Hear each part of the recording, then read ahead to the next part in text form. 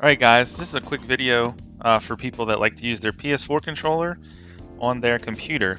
So sometimes you may have issues with your headset, like if you're using a headset plugged into your computer and not into the controller, you may have issues with getting sound through your headset or actually getting any sound through your microphone as well for people to hear you.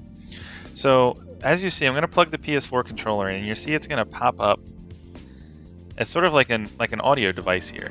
So it says headset earphone, but sometimes it, it will default to this, the headset earphone. And if, if I set this to default device, I won't be able to hear anything out of my headset.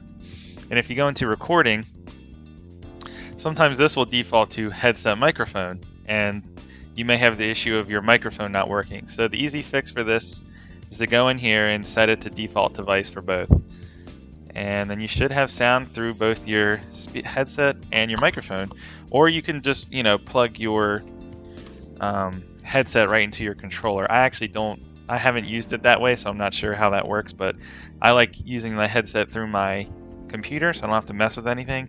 So I just plug the PS4 controller in and we're good to go. But the first time I tried it I had no sound. I couldn't understand what was happening and then I went into my sound devices and I saw that it defaulted to this headset earphone and then headset microphone. So this headset is actually the controller. That's what they're labeling this. For some reason, the PS4 controller rings up as a headset.